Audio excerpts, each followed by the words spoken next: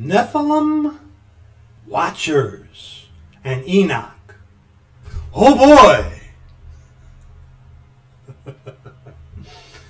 this you will call a continuation, if you will, of um, the previous video, um, the Lost Tribes. In that video, The Lost Tribes, I made an error in that video. In that video, I attributed to Goliath as the one having six fingers and six toes, uh, six fingers on each hand and six toes. The scriptures does not say that it was Goliath that had six fingers and six toes. We cannot assume that Goliath that he had six fingers and six toes. We cannot assume that. That was an error, a mistake on my part for saying that. Please forgive me of that error. That was I was wrong about that. Uh, please forgive me. I repent of that. And thank you if you do. I was wrong. I was wrong. This video came about, and that information about um, the uh, six finger thing and six toes that uh, I had got that wrong. Thank you, Lord. He showed me that. Came about upon this subject that we are going to be talking about. Nephilim, Watchers, and Enoch. Oh boy. Oh boy. First of all, we're going to be in the scriptures today. You can see this. We're going to get to this in a second. But uh, please get your authorized version of the scriptures. Please get your authorized version of the scriptures. And follow me along in the scriptures that we will be looking at today. Okay?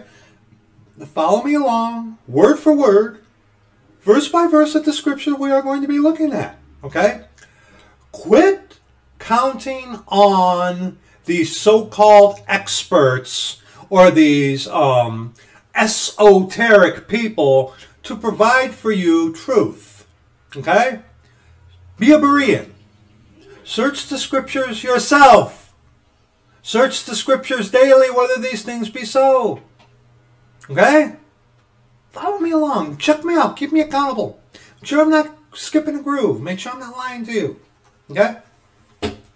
We're going to begin in 2 Peter chapter 1 verses 19 on to verse 21. We have also a more sure word of prophecy, whereunto ye do well that ye take heed. 2 Peter chapter 1, 19 on to verse 21. We have also a more sure word of prophecy, whereunto ye do well that ye take heed, as unto a light that shineth in a dark place, until the day dawn and the day star, which is our Lord Jesus Christ, arise in your hearts. Knowing this first, that no prophecy of the Scripture is of any private, unknown, hidden interpretation that you got to go take a certain uh, course in order to learn what the scriptures say.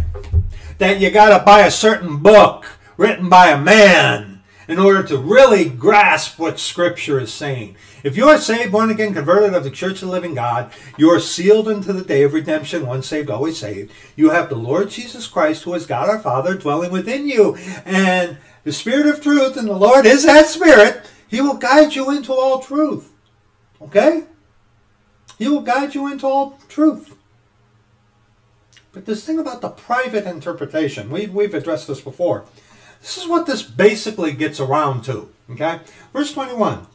For the prophecy came not in old time by the will of man, but holy men of God spake as they were moved by the Holy Ghost. And this whole thing about the Nephilim, Watchers, and Enoch. Oh boy! Comes about through things that are considered apocryphal. Apocryphal. What does the word apocrypha mean? Okay, I'm going to put the scriptures aside for right now. Webster's 1828 dictionary. Okay, I recommend you use Webster's 1828 dictionary, yes, but when it comes to pure definition of words found in Scripture, use the scriptures first. Use Webster's as a last resort when it comes to defining words in scripture. Okay? But otherwise, okay, what does the word apocryphal mean? Apocrypha. Okay? Be cautious of the Webster's 1828 online. They did something to it. They did. They they messed with it. There was a little time where Webster's 1828 dictionary, what's that? Went offline for a while, then it came back, and the stuff that you can get online, there's stuff that's online that is not in the printed edition. Be aware of that. I used to have a link for Webster's 1828 dictionary online on the channel. I took it down because of that. Uh, what was it? Um, and our brother from Croatia was the one who uh, uh, inadvertently, I think, pointed this out. Uh, check out the word speed in the printed edition of the 1828 versus the online edition. You'll see what I'm talking about. But Apocrypha, as defined by Webster's 1828 dictionary, noun. Literally such things as are not published, but in an appropriate sense, books whose authors are not known whose authenticity as inspired writings is not admitted, and which are and which are therefore not considered a part of the sacred canon of the scripture. When the Jews published their sacred books, the Jews, and right here we go again with well, what is a Jew? Yea, hath God said. Yea, hath God said. Jews like we talked about in length in the previous video. Jews, scripturally, are Hebrews. Hebrews come from the tribe of Shem, taken out of the tribe of Shem.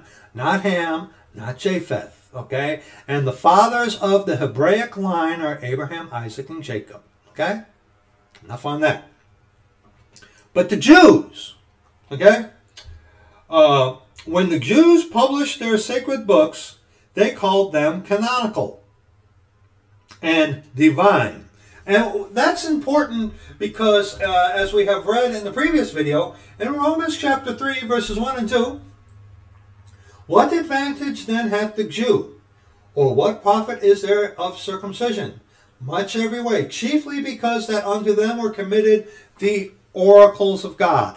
The law were given unto the Jew, the Hebraic people, as were the scriptures, Old Testament scriptures. Okay? All right? They were given unto the Jew. Not the Greek, not the uh, those in Alexandria who, uh, long after the death of Jesus Christ, wrote that ridiculous Septuagint. Okay, Jesus Christ, God our Father, did not use the Septuagint. That is a papist Roman Catholic lie. Okay? Yeah, your, your, your, your scholars, your scholars, yeah, the scholars are trained by the Jesuits. Yeah, who are masters of Yea hath God said. Yeah, yeah, okay. Let's, but let's, let's continue here, okay? When the Jews published their sacred books, they called them canonical and divine such as they did not publish, were called apocryphal. Right here. The apocryphal books are received by the Romish Church as canonical, but not by Protestants. Apocryphal, adjective pertaining to the Apocrypha, not canonical, of uncertain authority or credit, false, fictitious. Uh, apocryphally, adverb, uncertainly, uncertainly, nor indisputably. Apocryphalness, noun, uncertainty, uncertainty, uncertainty as to authenticity, uh, as to authenticity, doubtfulness of credit or genuineness. That's what apocrypha means, and apocryphal, and its uh, derivatives there according to Webster's 1828 dictionary. Okay? According to Webster's 1828 dictionary.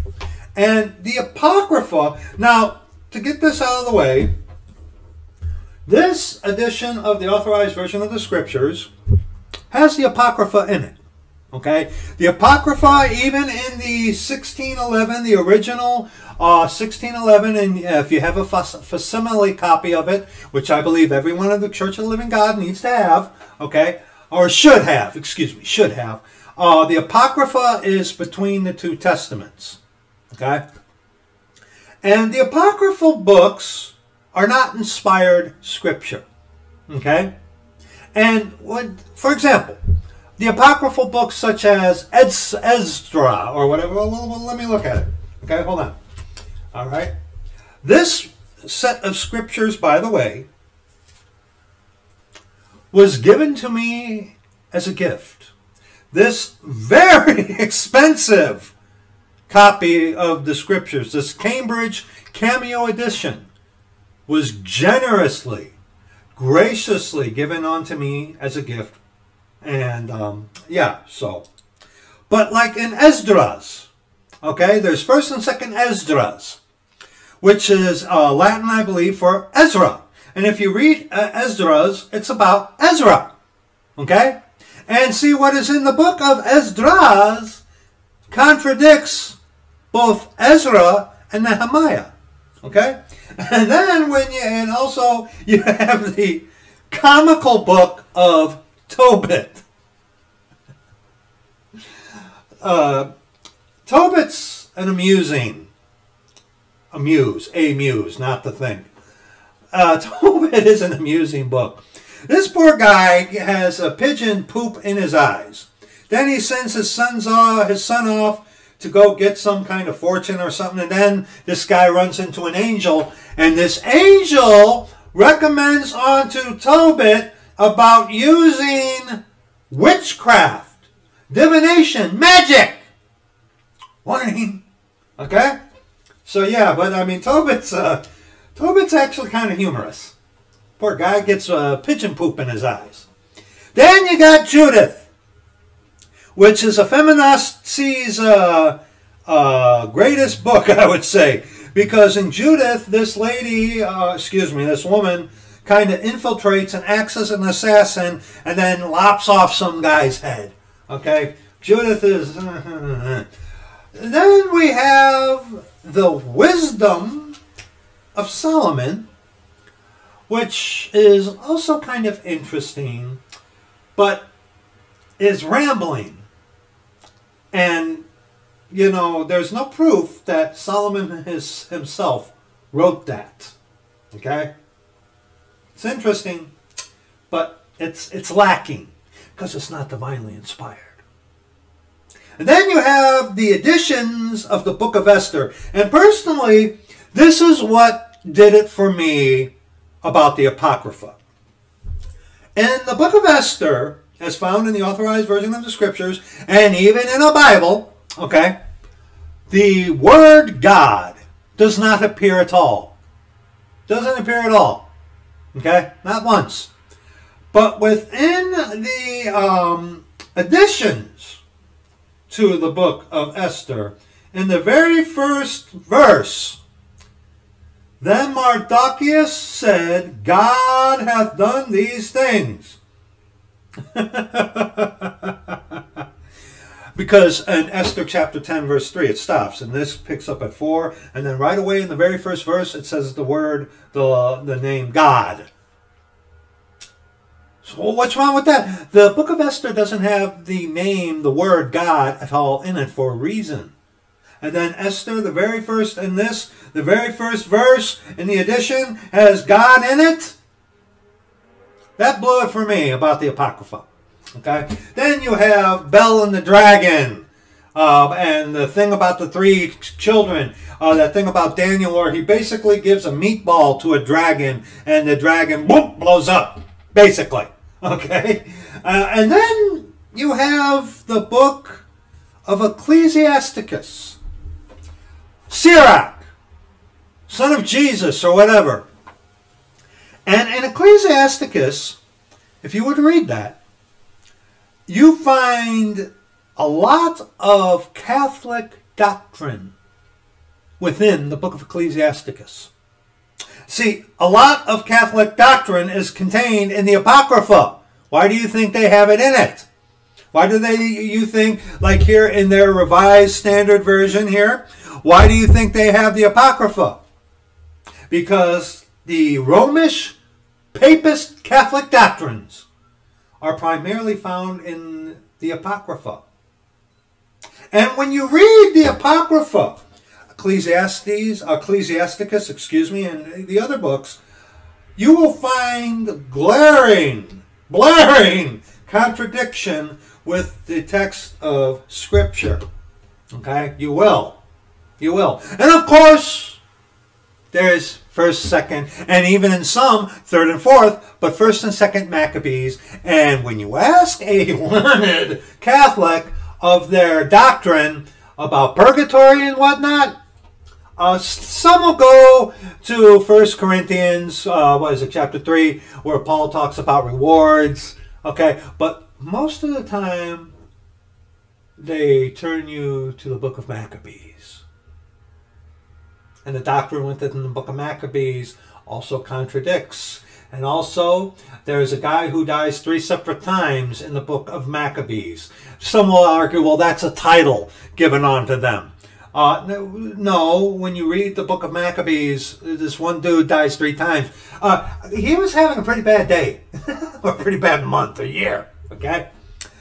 The Apocrypha is interesting. It is. It is not inspired scripture. And when you consider that a majority of the Catholic doctrine comes from the Apocrypha, warning, warning. And also, too, now we talk about, we shift gears about the book of Enoch. And also with these other apocryphal books, you have what? The Book of Thomas, the uh, the Gospel of Mary, the Gospel of Judas, uh, the Book of Noah, the the, the Shepherd of Hermas. Uh, you have all these other apocryphal books, and but when it comes specifically to the Book of Enoch, this from this book. Now this is also a very interesting read. But the book of Enoch, and incidentally, incidentally, I forgot to mention this. Incidentally, there are several versions of the book of Enoch. And you know, in the Apocryphal books uh, here that are sandwiched between the Testaments within the authorized version of the Scriptures, differ, the Apocrypha in this, uh, that is sandwiched between the two actual Testaments of Scripture, with the Apocrypha and this, the RSV, they differ. And from the Revised Standard Version, they also remove verses out of some of the Apocryphal books. And you look in the new Revised Standard Version that you can get today and compare it with something like from the 1611, they remove verses. yeah, and that's something. And that's something. But there are those there when you look into the book of enoch um, and here even in the back of this it says that the early church fathers considered this canonical. But christians from what was that 364 364 isn't that around the year when the roman catholic church came up with the christ mass doctrine. Hmm, around that time, huh? Yeah. But they'll say, well, this, the book of Enoch, was originally considered as part of the Bible, and it was removed from the Bible. Hmm. Yea, hath God said. Book of Enoch contradicts with doctrine that is found with. See, and that's that's the thing, there, brethren. That's the thing.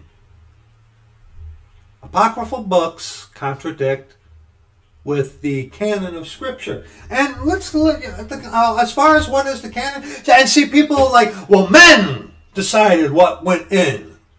Well, we read in First Peter about uh, how they were moved by the uh, what is that? Uh, Second Peter, excuse me, uh, uh, chapter one, verse twenty-one. For the prophecy came not in old time by the will of man, but holy men of God spake as they were moved by the Holy Ghost. The Holy Ghost, and the Lord is that Spirit. The Lord's hand was on the creation of the authorized version of the Scriptures. Okay? And you might say, well, the Apocrypha was in the 1611, sandwiched in between the two testaments, and therefore reference not as inspired scripture. Have you ever read the epistle dedicatory of the authorized version of the scripture? Okay? Have you ever? All right? But go to Luke chapter 24. I know we're looking at this. We'll, we'll get to this. We have to go through this first. Okay? And besides, it might do you some don't do some of you well knowing that you can only see that much of me, okay? but Luke chapter 24 verse 27. You know, on the road to Emmaus when our Lord Jesus Christ came upon two people who the two people were not allowed to know or see that it was actually the Lord talking with him with them. Interesting. Because he didn't open their eyes to that yet. But uh, Luke chapter 24, verse 27. And beginning at Moses and all the prophets, the first five books of Moses, the Torah, they, some call it the Pentateuch. I refer to it as the Torah. Okay? First five books. Torah nor Pentateuch is not in Scripture. Okay? Let's get that out of the way. But uh, the first five books, okay? And beginning at Moses, and all the prophets. He expounded unto them in all the scriptures the things concerning himself. And let's look a little bit at the at the canon of scripture. Uh, skip over to verses 44 on to verse 45 in um, Luke chapter 24.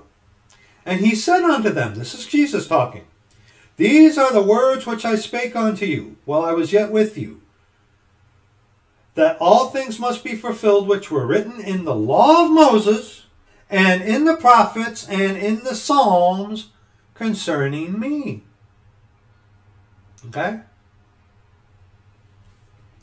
Then opened he their understanding that they might understand the scriptures.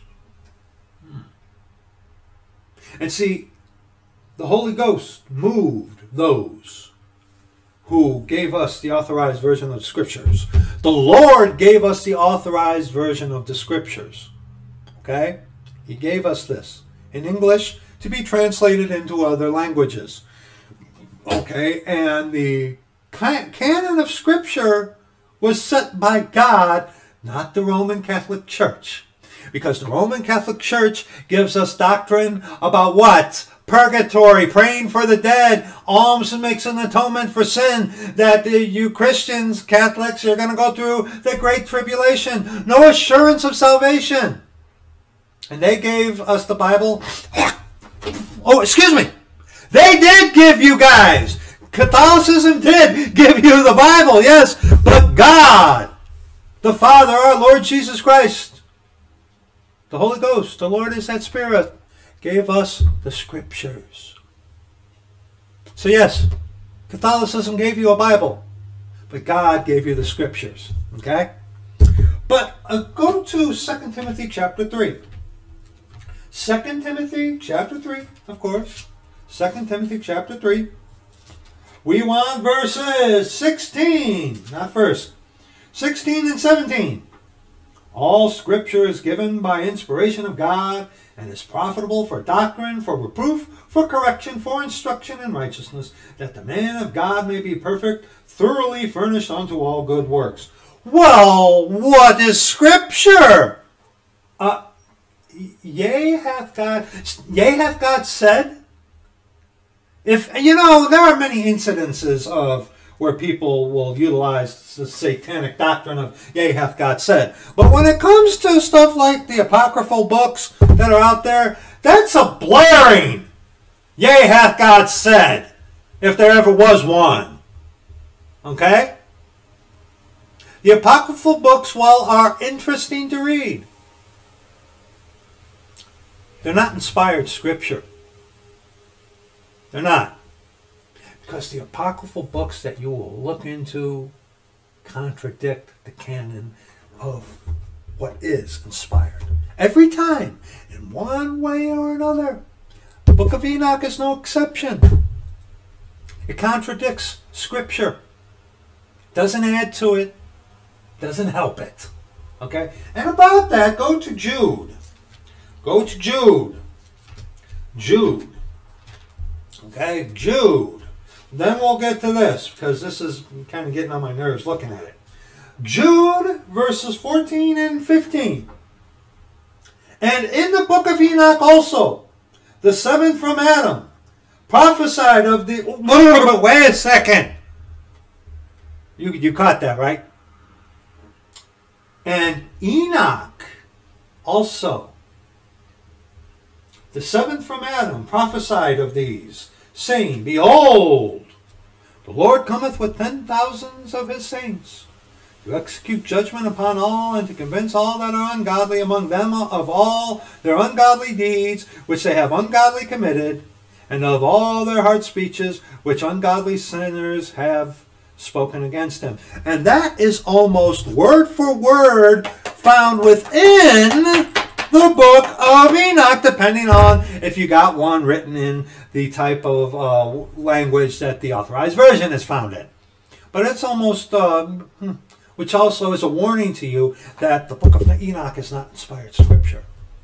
And also, you got mentioned in scripture the book of Jasher, right? And the prayer of Manasseh. The prayer of Manasseh, which is in the Apocrypha, is actually, when you read the prayer of Manasseh found in the Apocrypha, that is actually very good prayer of repentance. It really is, yes. But see, it's not inspired scripture. It is spoken, worded, written in a form as if the uh, Lord Jesus Christ had been incarnated in the Old Testament. Even though he was in the Old Testament. Okay, Jesus Christ is come in the flesh in the New Testament. Okay? God manifest in the flesh. He would come and go. He would appear, but not be, not tabernacle, not be among his creation as he was in the flesh. See? But yeah, yeah. Yeah. Now, and it is from the book of Enoch. It is from the book of Enoch where a lot of these people with this silly, and I'm trying to be polite, silly, stupid last days nonsense that a lot of people will want to come up with, and they throw the thing of Nephilim around and watchers, which both Nephilim and watchers are spoken about in the book of Enoch, okay? And Enoch is not inspired scripture, okay? All right? But people seem to want to go, some people want to go to the book of Enoch to try to um, interpret last days things. And you got to remember about the book of Revelation. It's not written for us. Uh, excuse me. It's not written to us. It's written for us. Yes, it is. But it's not written to us. Okay? We who are genuinely saved, born again, converted to the church and living God, we're get, we're out of here uh, by Revelation chapter 4. Okay, where it says, Come up hither. We're out of here. Okay? For instruction in righteousness about the seven churches, yes, you can interpret that into certain types of people. Yes, you can for instruction in righteousness' sake, yes, but doctrinally, the book of Revelation is not written to us today. It's written for the Jewish people, the Hebraic people, who are going to go through the time of Jacob's trouble. Okay? We today are not going to have a full understanding of the book of Revelation because it's not written to us. Okay? And hence, people will go outside of the scriptures to try to define what the scriptures say in the book of Revelation. And it's always about that. And this is where, and incidentally, this word, Nephilim, does not appear in Webster's 1828 dictionary and also does not appear in this Webster's New World Collegiate Dictionary of 1997, I believe this is. I believe 1997 or 1998. Okay? It doesn't even appear in this. I would bet you if you were to get a Webster's Dictionary of today, which has the definition of the Simpson word "don't" in it, uh, yeah, today's dictionary might have Nephilim in it. But as far as 1997 and 98, Nephilim was not in. It's not in this dictionary. Okay, it's not. All right. I had to go on this, and this website is kind of iffy, but uh, they got some pretty decent information on this. But Nephilim. Now let's go through this so we can get this off of here and get to work. Nephilim. Who were the Nephilim in the Bible? The word Nephilim is found in the Bible two times. Really? really? Really? Well, um, okay.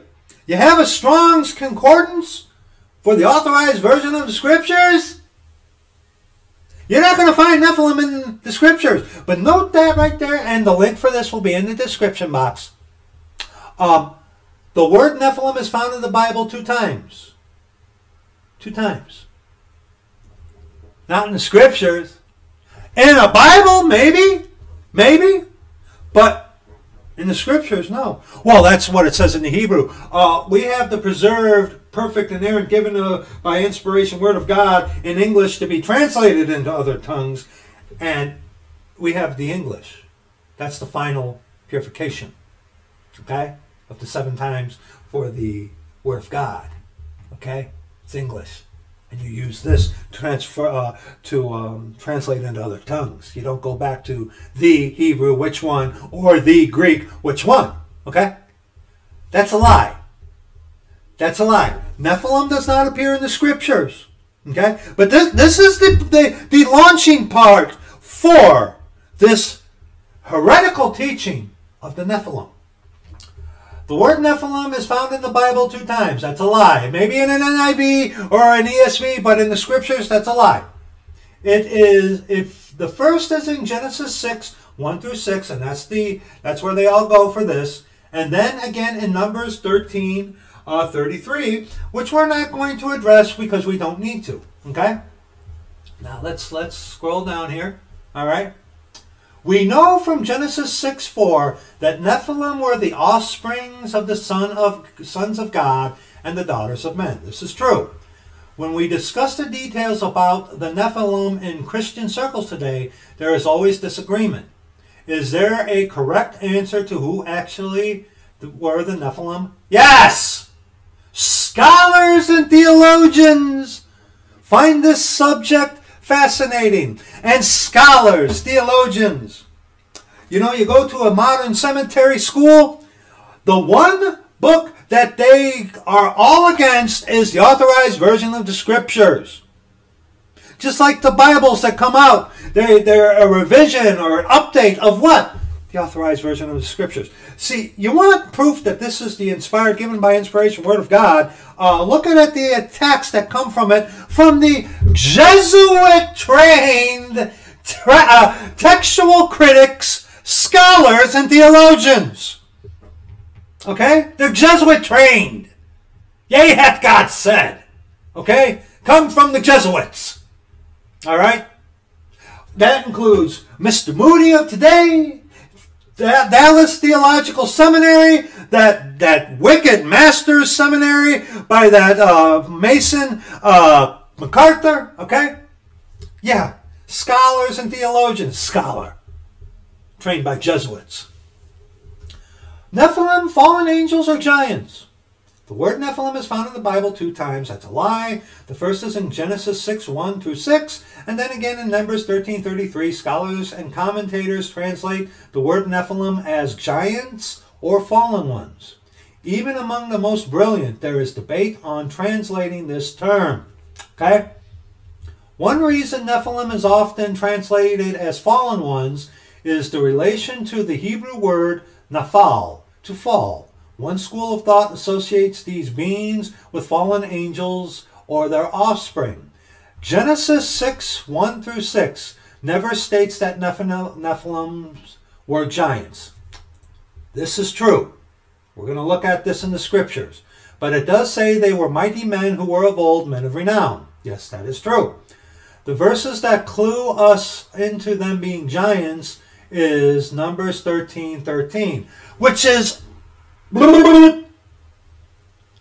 after the flood. After the flood.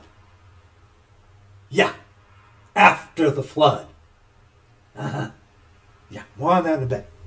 Which states, and there, there we saw the Nephilim, the sons of Anak. That's not from the scripture, okay? And we seemed uh, to ourselves like grasshoppers, and so we seemed to them. Here, scripture indicates they were possibly giants, men larger and bigger than normal. Let's look in Numbers 13:33. Okay, Numbers. 13. We're going to dive into Genesis 6, 1 on to verse 7. Okay, but Numbers chapter 13 and Numbers chapter 13, of course, uh, very good chapter. But the verse is 33.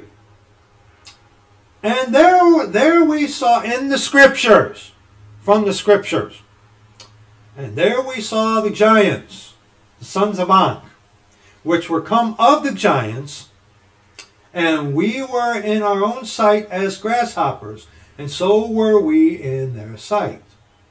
Now, they might want to tell you that the Greek or the Hebrew word is Nephilim. I don't care what the Hebrew word is. This is the complete perfect, inerrant, given by inspiration Word of God for us today, written in English, to be translated into other tongues from the English, the authorized version. Okay? Yea, hath God said. I believe in a perfect set of scriptures, the authorized version. Scholars and theologians don't. It's that simple. It's that simple. Okay, now let's continue. No one really knows exactly who or what the Nephilim, who or were, no one really knows exactly who or what were the Nephilim. However, Scripture, what Scripture never uses the word Nephilim. Scripture gives us clues about who the sons of God and the daughters of men were. They were angels. They were angels. More on that in a minute. Who are the Nephilim? Four different theories. For centuries, scholars from Judaism and Christianity, Christianity, yeah, Christianity, yeah, Catholic, have presented different views on who the Nephilim were. Number one, the first view is that fallen angels had relations with the daughters of men, which resulted in part human, part supernatural being the Nephilim. That I agree with. The second position held by some is that demons or fallen angels possessed men, then had relations with the daughters of men, resulting in the Nephilim. That I do not agree with, and we will look at that uh, here in a little bit. The angels. Angels. Okay? Whether they were fallen angels, mm, I don't know. But they were actual angelic beings. More on that in a bit. Third, a third position called the Sethite view is held by some scholars. The Sethite view defines the sons of God as the righteous line of Seth. No. No.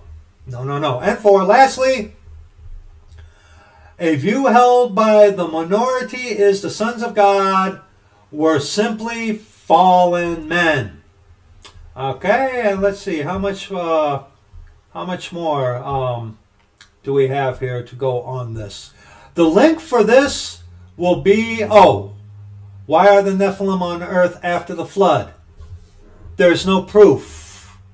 There's no proof. Okay? There's no proof that the Nephilim were here after the flood.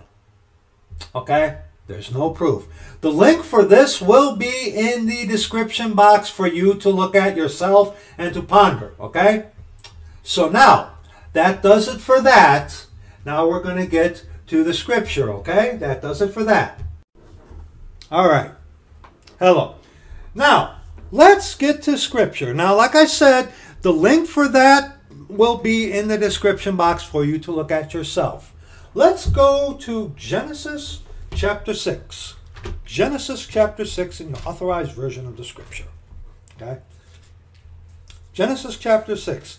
there are those that believe that the Nephilim are alive today, and that uh, the Satan has uh, the Nephilim DNA, and that the New World Order people are the Nephilim, and that uh, the this this insane idea of the lizard people, shapeshifters, are of the Nephilim, a superhuman type of race. Also, there are theories about that's what Hitler had uh, with the super soldier thing, that they had a strand of the Nephilim DNA. When you look into this nonsense about the Nephilim, it, it, it gets pretty crazy. Like I mentioned, the super soldier thing. There are things out there that you can find that say that Hitler had a strand of Nephilim DNA and tried to create the super soldier from the Neph- Nephilim DNA and stuff like that. And that these, um, uh, you know, Steele the Jesuit uh, Poniard babies that uh, come today that look like aliens and something like that, that they have a strand of the Nephilim DNA and the, it's what? Yea, hath God said. See, you take the scriptures away from people, this this kind of nonsense is what comes. Okay? Genesis chapter 6, verses 1 on to verse 7. Follow me along. Okay? You're you're a supporter of this Nephilim nonsense. Hopefully this will persuade you otherwise. Today is the 26th. The fool's proverb. But anyway, verses 1 on to verse 7 in Genesis chapter 6. And it came to pass, when men began to multiply on the face of the earth, and daughters were born unto them, that the sons of God saw the daughters of men, that they were fair, and they took them wives of all which they chose. Now, the sons of God. Now, the sons of God, which is also mentioned in verse 4 here. Hold your place here and go to the book of Job. Job, I personally believe, was written before the flood. Absolutely, I believe that. There's no mention of the law of Moses or anything like that. They were, he was doing sacrifices, but um, he was choosing to do sacrifices because they weren't in the law yet. Okay? But Job chapter 1, verse 6. Now there was a day when the sons of God came to present themselves before the Lord, and Satan came also among them. Okay? The sons of God. Who are the sons of God in this context? Angels. Today we are sons of God by adoption. Okay? Yes, we are sons and daughters of God. Yes, we are by adoption. But here in Genesis and also in the book of Job, the sons of God here are being talked about are angels. Okay? And Job chapter 2, verse 1. Verse 1, same thing. And again there was a day when the sons of God came to present themselves before the Lord.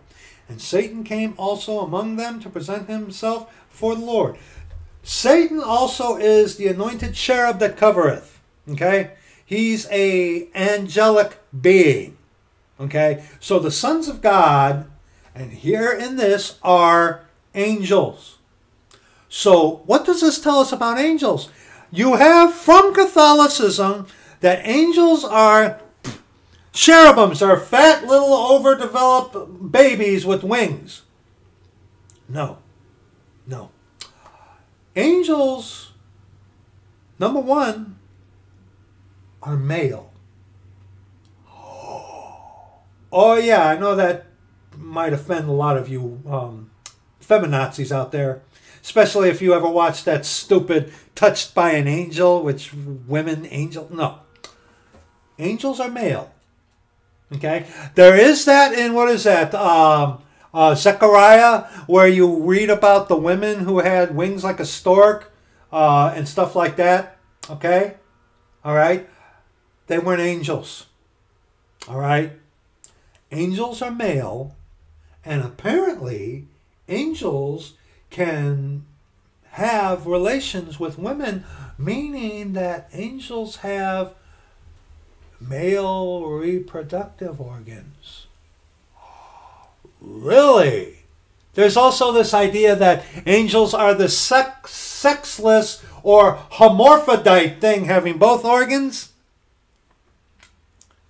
So apparently, the sons of God could have relations with the daughters of men.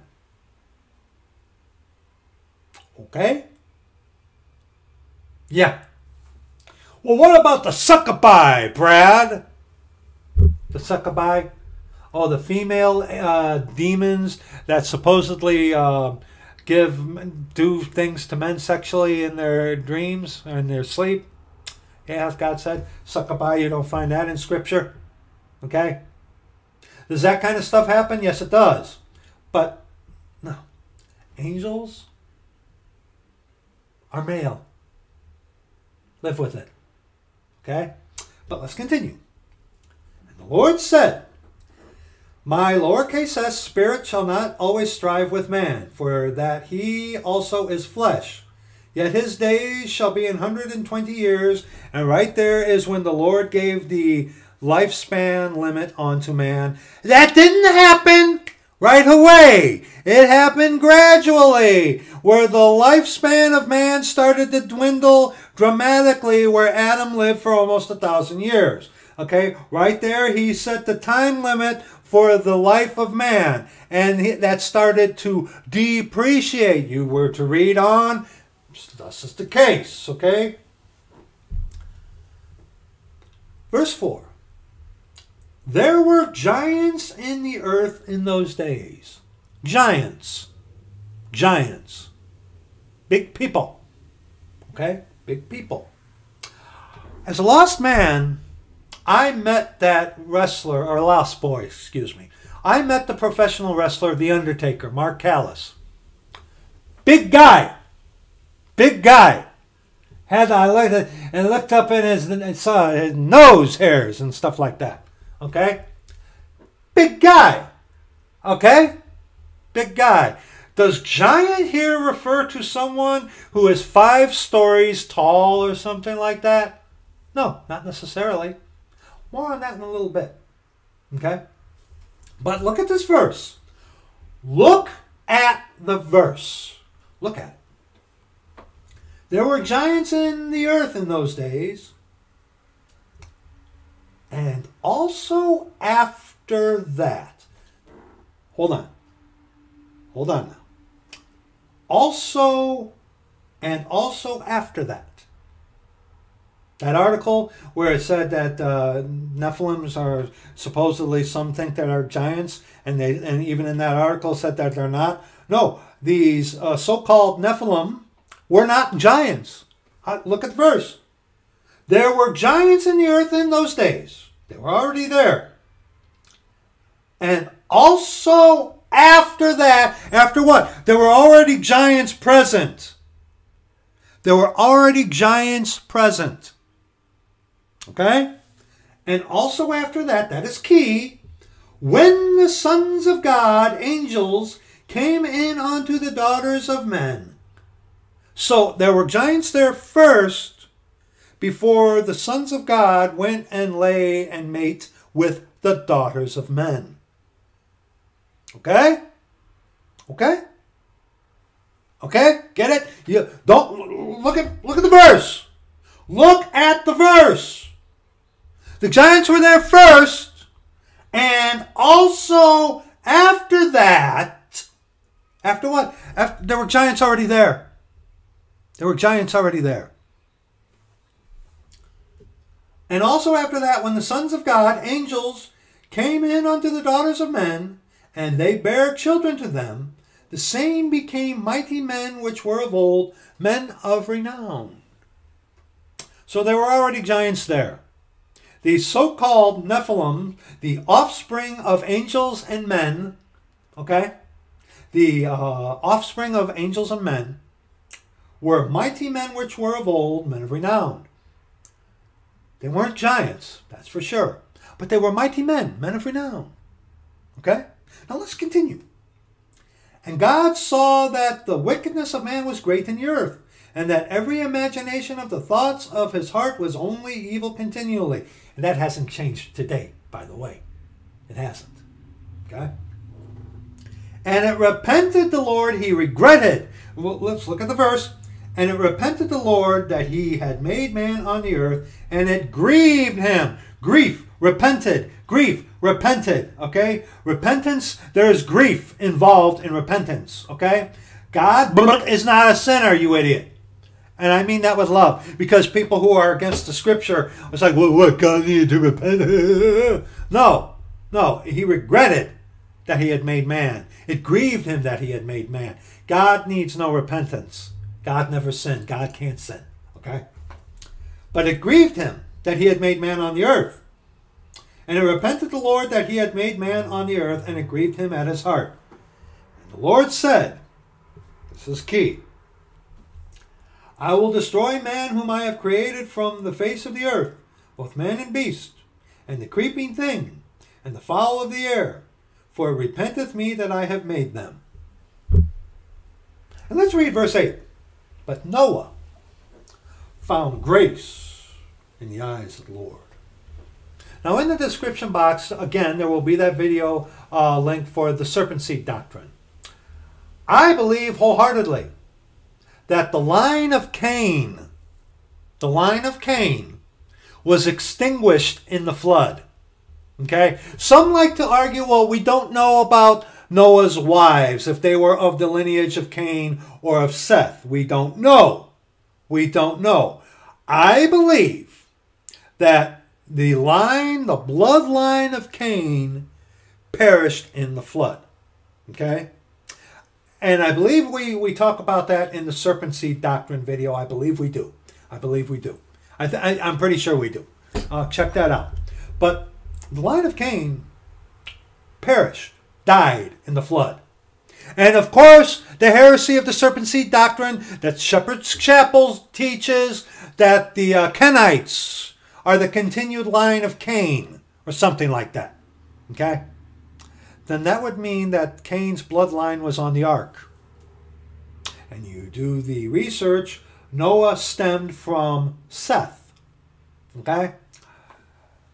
There is no, zero scriptural evidence. None. Zip. Zero. Nada. No evidence whatsoever to suggest that Noah was one of these offspring of uh, angels and men. That is something that I have heard also, that Noah was one of these so called Nephilim. There ain't no proof of that whatsoever. If you get that, you get it from something apocryphal, which is not inspired scripture. There is no proof, no evidence whatsoever that suggests that Noah was a so called Nephilim. Actually, there is evidence that Noah is descended from Shem. He was a man. Okay? All right? There's no proof. No proof of that. No proof whatsoever. Okay? Now, let's go to Job chapter 16. Let's get let's touch a little on this, this thing about the giants. Okay? Now, the flood happened. Okay? The line of Cain extinguished. These offspring of angels and men also perished. Okay? Giants. The giants were there before before the sons of God had relations with the daughters of men. Okay, we just looked at it. Okay? So these offspring of angels and men were not the giants. They weren't. Okay? They weren't. All right? But go to Job chapter 16 now.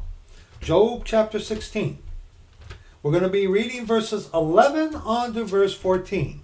Okay? And I believe, like I said at the beginning of this video, that Job is before the flood. Is before the flood. And we're going to see that giants, after the flood, are really tall people, not people who are 18 stories high, like uh, the Greek um, uh, myth of Titans and stuff like that. Okay? We're going to see that, uh, for example, Og king of Bashan, was probably somewhere about a 10 to 12 foot tall guy. Pretty big. Pretty big. Would have made a great NBA player. Okay? All right? And also that we will see that Goliath, and this is how the Lord showed me about the arrow with the six finger thing. Because looking into this, it's like, oh, it wasn't Goliath. Okay? Goliath was up anywhere between 9 to 10 feet tall. Okay? 9 to 10 feet tall. Have you ever come across someone who was close to actual 7 foot tall? And you're like five eight or five seven or something like that? You know, my height? And he's like, wow, that's pretty gigantic, isn't it? But I want us to look here in Job chapter 16, verses 11 on to verse 14. Job uses the word giant as a figure of speech. How so? Let's look. Job chapter 16, verses 11 on to verse 14. Remembering all that Job went through. Job in the beginning parts of the book of Job, in one, two, three, four, in one fell swoop, had everything taken away from him except his wife. Who also lost with her husband, because those were also her children that died. Okay, you got to remember that. You got to remember that about Job's wife. But Job went through a lot of stuff. So Job's problems, which there were no basis for them to happen, you read the first couple of chapters of Job. The Lord shows us this. Um, Job's problems and sufferings were gigantic, weren't they? Job 16, 11 on to verse 14. God hath delivered me to the ungodly, and turned me over on, into the hands of the wicked. I was at ease, but he hath broken me asunder. He hath also taken me by my neck, and shaken me to pieces, and set me up for his mark. You know, in the book The Pilgrim's Progress, there is, um, John Bunyan makes mention of the giant of despair. The giant despair. I was at ease, but he hath broken me asunder. He hath also taken me by my neck, and shaken me to pieces, and set me up for his mark. His archers compass me round about. He cleaveth my reins asunder, and doth not spare. He poureth out my gall upon the ground. He breaketh me with breach upon breach. He runneth upon me like a giant. Like a giant. Job uses this as a figure of speech. Look at that, what he just describes. And think about what Job was going through and his three friends who opened up their big mouth and accused Job. Okay? Job's problems were definitely gigantic, weren't they? So when he says here, He breaketh me with breach upon breach, He runneth upon me like a giant. It's figure of speech. His problems were gigantic, were they not? Were they not? Okay? Yes, they were. Yes, they were. He uses it as a figure of speech. So, giant is a really big dude. Okay? Now, let's go to Numbers 13. Okay? Uh, I was wrong. I, I wrote it down here. Numbers 13, let's go back to there.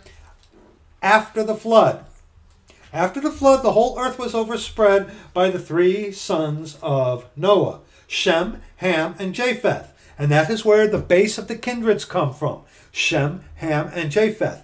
It is not this impossible, unfathomable thing that a man could grow in those times um, to the height of 10 to even 12 feet. Even in modern times, in the 1900s, there were guys who got up to uh, 12 feet tall. They had all kinds of problems and whatnot. But also, too, you got to remember immediately after the flood and the overspreading of the sons of Noah to repopulate the earth, um, the gene pool still at that time was more so pure than it is now. Okay? It was after the flood. The climate and everything changed after the flood.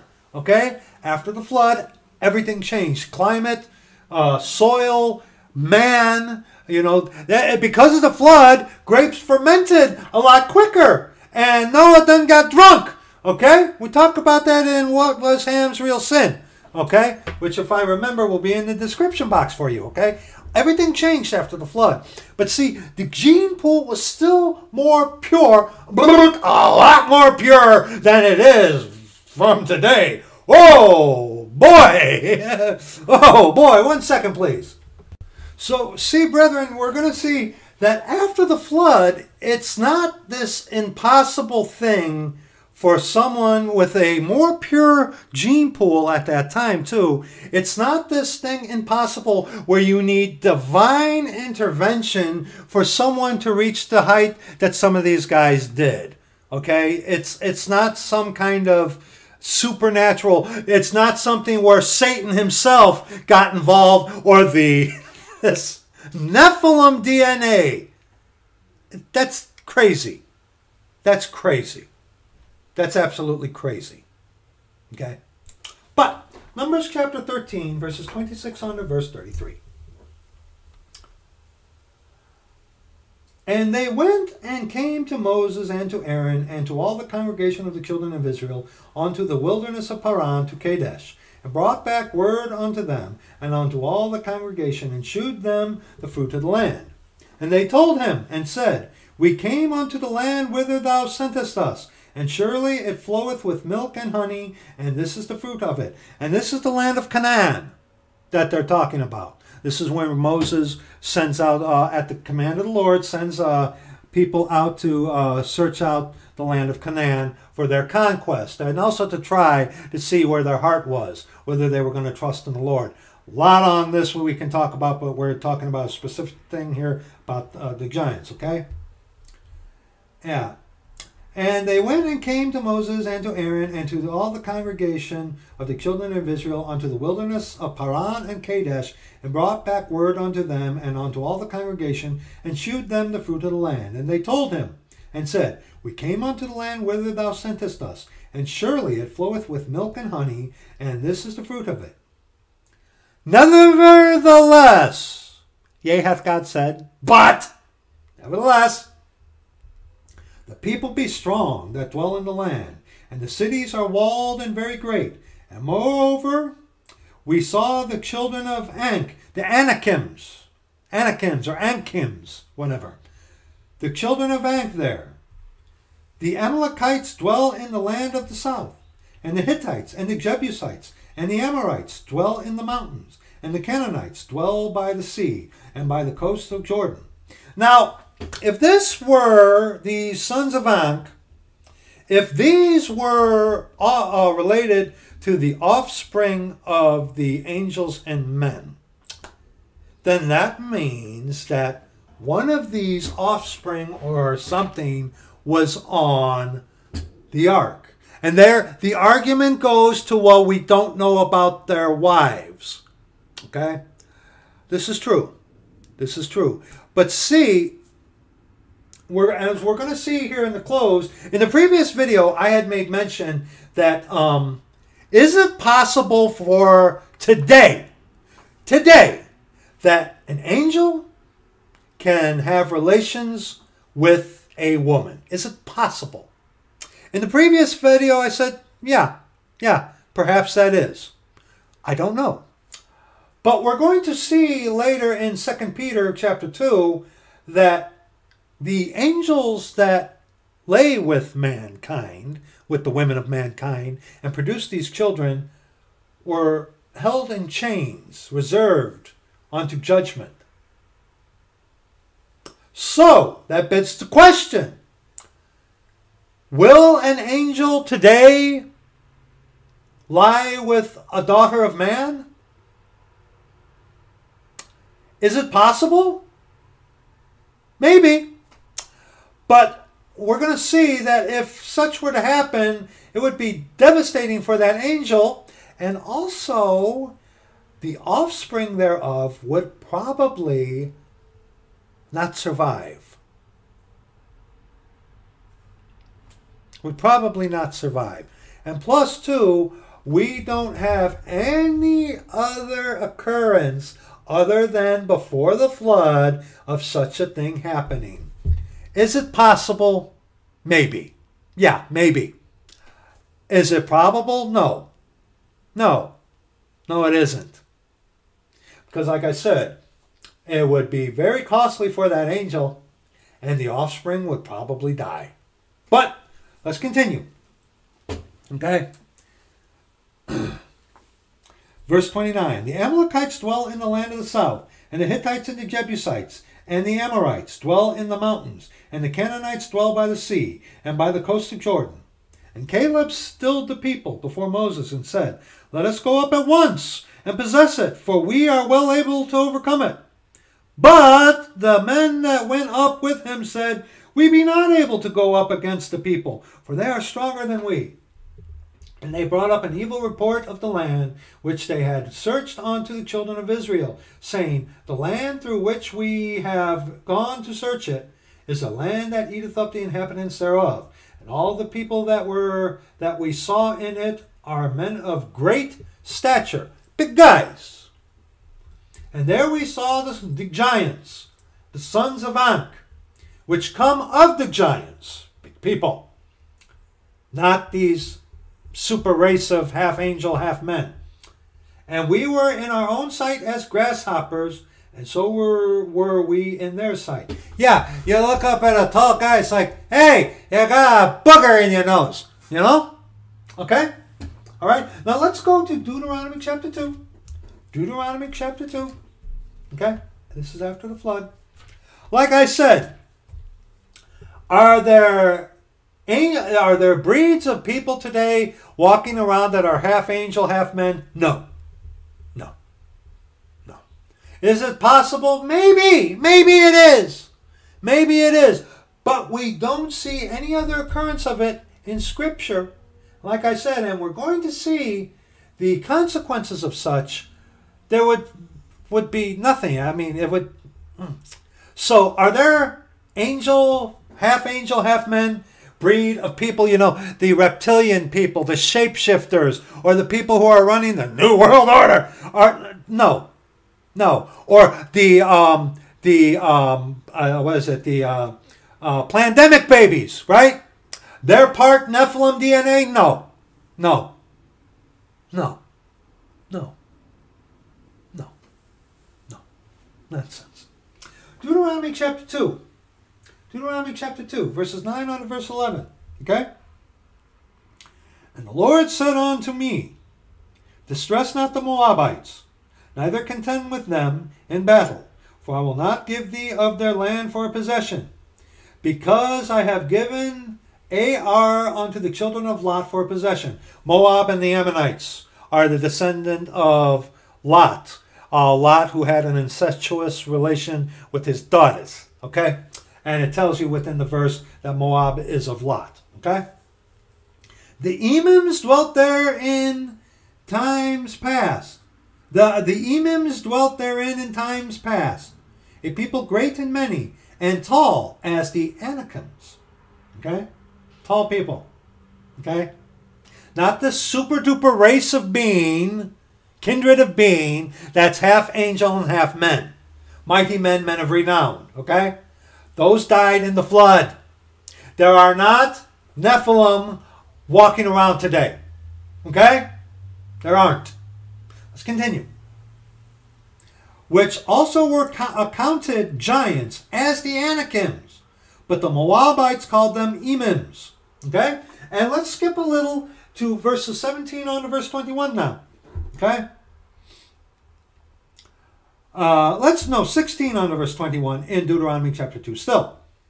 So it came to pass when all the men of war were consumed and dead from among the people, the 40 years uh, wilderness uh, wandering, that the Lord spake unto me, saying, Thou art to pass over to Ar, the coast of Moab, this day. And when thou comest nigh over against the children of Ammon, Ammon, Lot, okay, distress them not, nor meddle with them, for I will not give thee of the land of the children of Ammon any possession, because I have given it given it unto the children of Lot for a possession. Ammon and Moab. It tells you right there where Ammon and Moab descend from. Lot, the incestuous relationship between him and his daughters. Okay?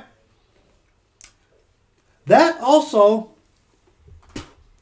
excuse me, that also was accounted a land of giants, big people, not 10 story high people. No, big, tall people. 12 to anywhere to 12 to 15 feet tall. Okay? Grappler would have one of them down in no time. All that leg. But anyway, that also was a, accounted a land of giants. Giants dwelt therein in an old time. And the Ammonites called them Zamzummims, a people great and many and tall, as the Anakims. But the Lord destroyed them, them before them, and they succeeded them and dwelt in their stead. Okay? Now let's go to Deuteronomy chapter 3. And here's where we're going to get a little technical with stuff, okay? Talking about some of the height of these people, okay? They weren't 10 stories tall like some of these nitwits who fall for the stuff from the book of Enoch, okay? It's not like that, all right? Giants were big people, not 10 to 15 feet, uh, not 10 to 20 feet tall. Now, before the flood, we don't have an exact uh, numbering on what the height of these giants were. Also, you got to remember, before the flood, the world was totally different. Okay? Totally different. Totally different. Okay? Could there have been a 20 foot tall giant before the flood? Yes. Yes. Could there have been a 90 foot, the length from home bay, a home plate to first base, 90 feet? Could there have been a 90 foot tall giant before the flood? Yes, yes. Probably because you got to remember the atmosphere was different. The atmosphere was different. 90 feet from home base to first base. Okay, that's 90 feet. Okay, that's baseball jargon for those of you of other nations you don't know. Okay, but 90 feet tall. Could there have been a 90 foot tall uh, giant before the flood? Sure, sure, absolutely. 20 story, 10 story tall, like the Greek myth, uh, mythology of the Titans? As tall as the Sears Tower? No, no, no, no, no. Okay? No. All right? We don't know before the flood, but as far as the giants that we are talking about, we're going to see. Okay? Deuteronomy chapter 3, verses 1 on to verse 13. This is talking about Og, and you also can read about Og in the book of Joshua. Okay? Then we turned and went up the way to Bashan. And Og, the king of Bashan, came out against us, he and all his people, to the battle of Edrei. And also, too, um, not much is mentioned of giants after, for example, the book of Joshua, and also in uh, Second Samuel, which we're going to look at, and in Chronicles and stuff like that, where it talks about giants as well. Okay, all right, and in the book of Revelation, I'm sorry, people, those of you last day guys who get pretty, pretty silly about this. Um, the Nephilim, these race of angels and men, they don't return. Okay? All right, let's continue. The Lord said unto me, Fear not, fear him not, for I will deliver him and all his people and his land into thy hand. And thou shalt do unto him as thou didst unto Sihon, king of the Amorites, which dwelt at Heshbon. So the Lord our God delivered into our hands Og also, the king of Bashan, and all his people, and we smote him until none was left to him remaining. And we took all his cities at that time. There was not a city which we took not from them. Threescore cities, all the region of Argob, the kingdom of Og and Bashan. All these cities were fenced with high walls, gates, and bars, beside unwalled towns a great many and we utterly destroyed them, as we did unto Sihon, king of Heshbon, utterly destroying the men, women, and children of every city. But all the cattle and the spoil of the cities we took for a prey to ourselves.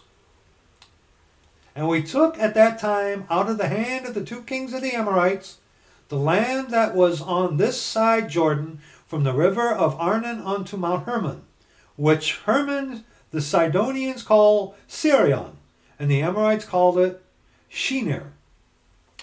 All the cities of the plain, and all Gilead, and all Bashan, unto Salcah and Edrei, cities of the kingdom of Og and Bashan. For only Og, king of Bashan, remained of the remnant of giants. Behold, right here, his bedstead was a bedstead of iron. Is it not in Rabbath of the children of Ammon? Nine cubits, and we're going to look into this. Nine cubits was the length thereof, and four cubits the breadth of it, after the cubit of a man. More on this in a bit. And this land which we possessed at that time, from Aroer, which is by the river Arnon, and half Mount Gilead, and the cities thereof, gave I unto the Reubenites and to the Gadites. And the rest of Gilead and all Bashan, being the kingdom of Og, gave I unto the half tribe of Manasseh, all the region of Argob, with all Bashan, which was called the land of giants. Okay? Now, looking at verse 11. Okay? For only Og, king of Bashan, remained of the remnant of the giants, not the remnant from the flood, because remember, only eight souls made it out of the flood. Okay? And there ain't no evidence at all that says Noah was one of those breed between angels and men.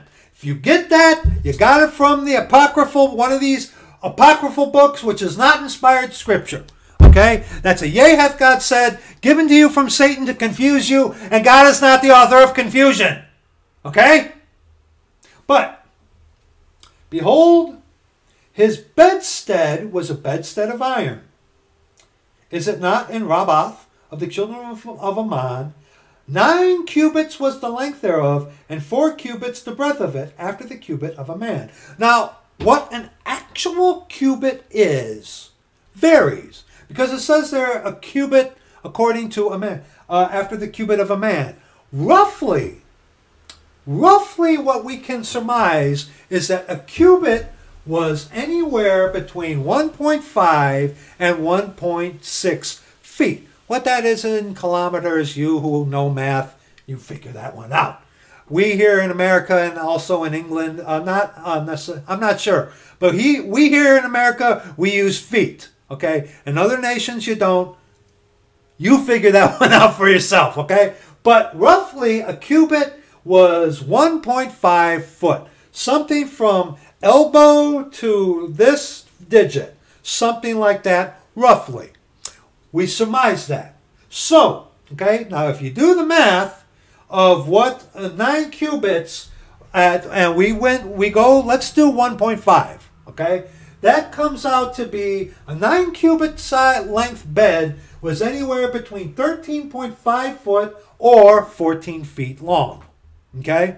Now, most beds, you get a bed bigger than yourself, don't you?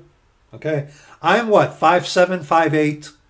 My bed, uh, I think, is something like almost six foot something, maybe seven. I don't know.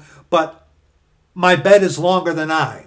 Okay? You get a bed and you are usually shorter than your bed, right? Right?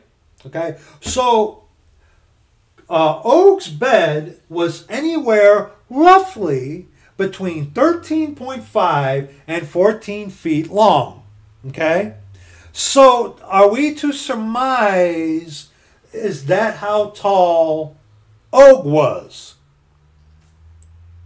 Most beds, most beds, even in ancient times, were bigger than the person that they would that would lay on them. Most of them, because well, if you're six foot and you try to lay down on a four foot bed, boy, you're going to have some cramps in the morning, boy. okay? So let's logically think. If Og was taller, bigger than his bed, that wouldn't probably fit him or be good for him, would it?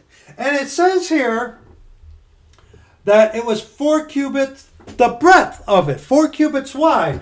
And four cubits wide roughly is about what? Six feet length. Taller than me. Okay? So the length of Og's bed, let's say my twin, I have a twin bed uh, here in uh, uh, Brother Alexander's room. Um, we let's say this is six foot. Okay, it's bigger than six foot, but let's just say it's six foot. So Og's bed was six foot uh, wide by anywhere from 13.5 to 14 feet long. Okay? A big bed made for a big man. So we can guesstimate, okay, it wouldn't make sense if Og was 20 feet tall and he had, say, only a 14 foot bed. That the guy would be a cripple. Okay? The guy would be a cripple. You know, it's like, ah, you know, uh, you can't stretch out. There's a verse in scripture, uh, brother, uh, help with in the description box if you would, where the bed is uh, shorter than a man can uh, stretch himself out on. I, I, I, I didn't write that down, but brother, help me with that, okay? But yeah, if you're going to have a bed shorter than yourself, boy, I wouldn't want to be you in the morning waking up with a crink in your neck or a crink in your hips or something. So let's say that Og was a little smaller than his bed. How big was he? I don't know.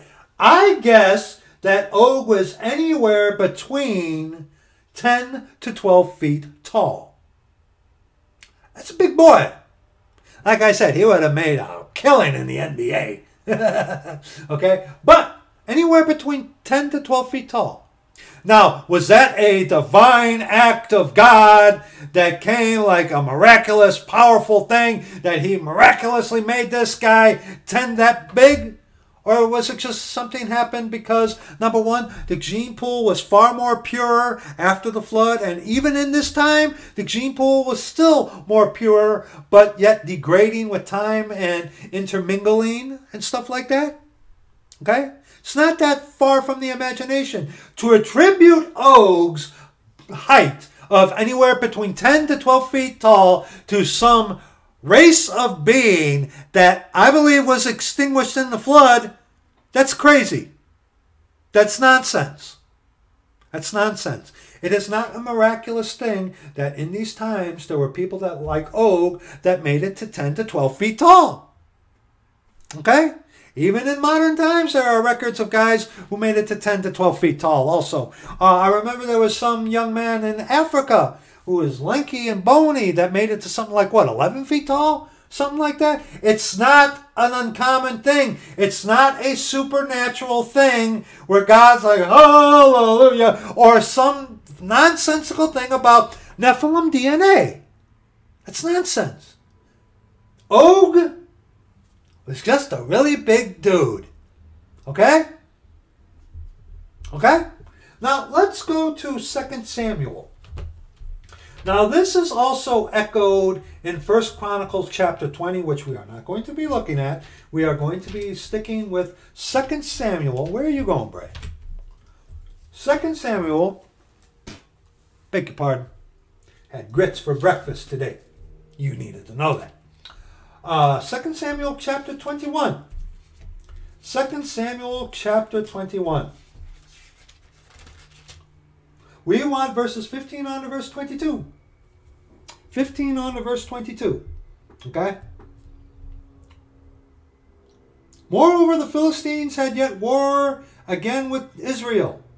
And David went down and his servants with him and fought against the Philistines. And David waxed faint. Now, in the comment section of the Lost Tribes, I make reference to this, what we're going to look at. And it was in this, looking this up, where the Lord's like, eh, Brad, you made an error in the last video attributing to Goliath the six finger and six toes thing.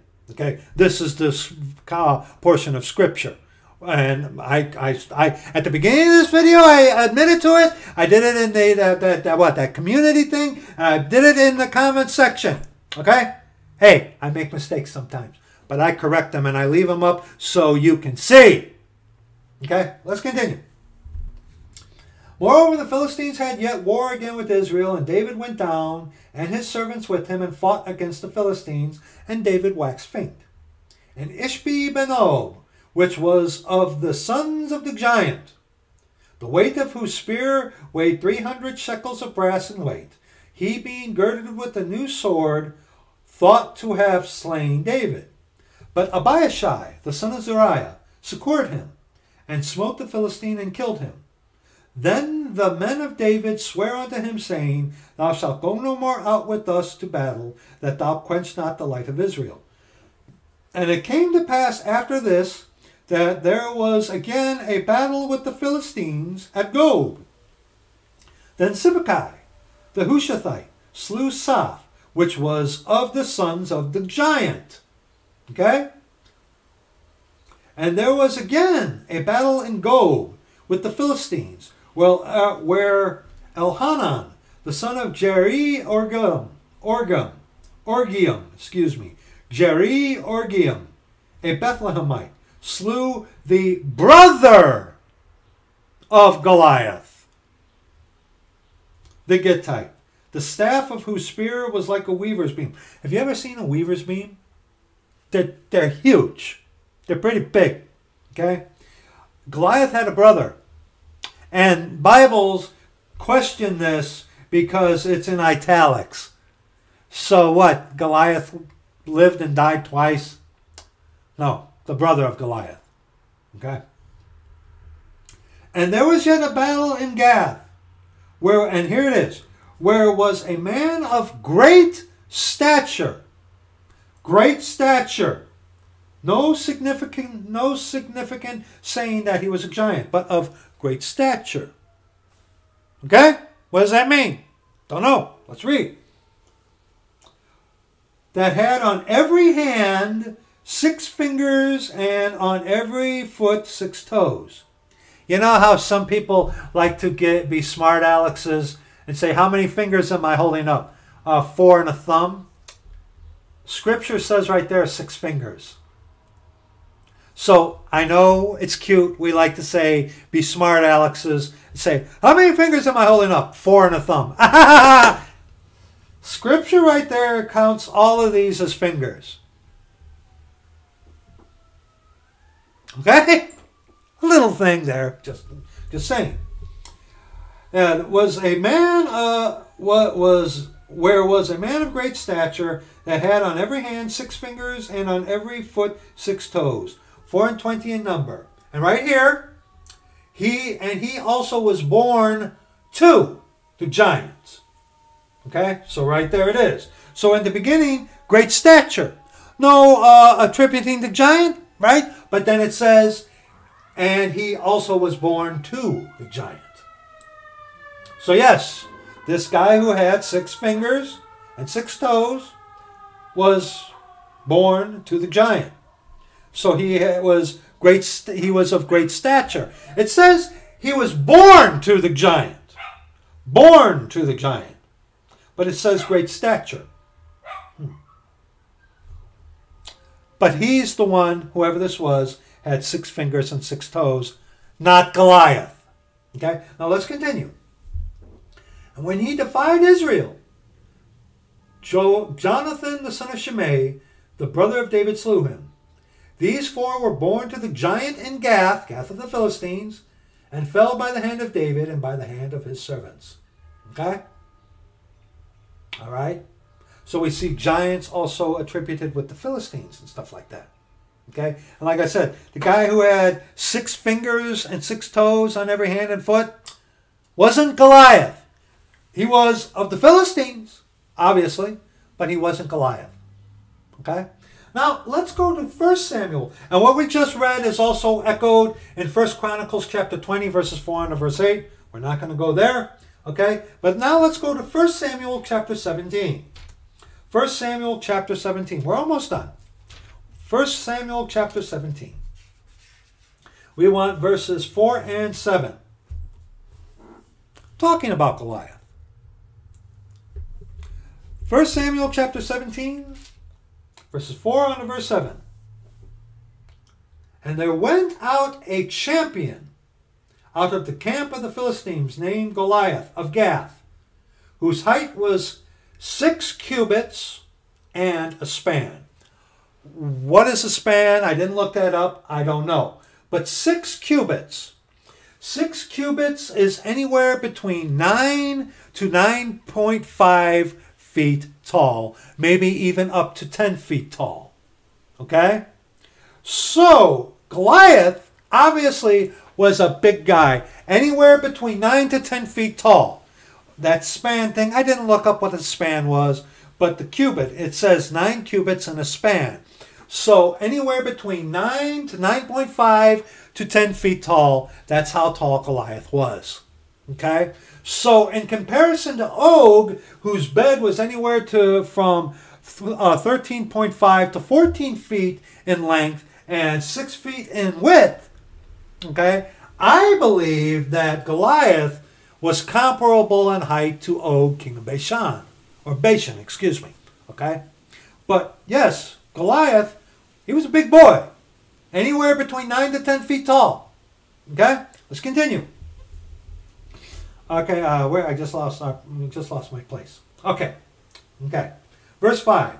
And he had an helmet of brass upon his head, and he was armed with a coat of mail, and the weight of the coat was five thousand shekels of brass, and he had greaves of brass upon his legs, and a target of brass between his shoulders.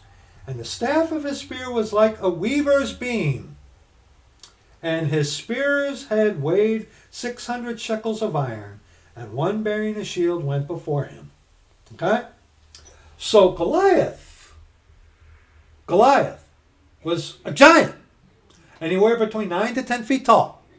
Absolutely. Absolutely. He, he's a big boy. He was a big boy. And of course, David took a smooth stone, slung stone, hit him right, uh, dotted his eye, and he fell forward, forward, face down, plunk, and then, okay? So that's about the giants. Giants were anywhere, could have been anywhere between 12 to 10 to 12 feet tall uh, before the flood. Um, who knows? They could have been 90 foot tall. Could they have been as tall as a skyscraper? I doubt it. No, I doubt it. I doubt it. But see, that's not the argument. That's not the argument. The argument about these this Nephilim thing is that they're either giants or they're, they're like some super duper uh, half breed uh, race running around here, the ones that are controlling everything. No, no, no, no, no, no, no, no, no, no, no, no. The Nephilim were uh, were destroyed in the flood, and Nephilim doesn't even appear in Scripture. Okay, but these Nephilim, so called, were destroyed in the flood. Second Peter chapter two. Here is the very good counter argument to the idea that these things are walking around today or will be walking around in the future. Because that's one of the arguments with people who get messed up with the book of Enoch and all these crazy apocryphal books. Uh, is that the the super race of angel and man is going to reappear during the time of Jacob's trouble, or they're the ones who are running the Illuminati and stuff like that, and that's what the those at the uh, Bohemian Grove worship, or all this kind of crazy nonsense. It's nonsense. But here is a good argument against the possibility that a half angel, half man thing is around today or will be. Okay? Is it a possibility that some rogue angel can go ahead and lay with a daughter of men today? Is it possible?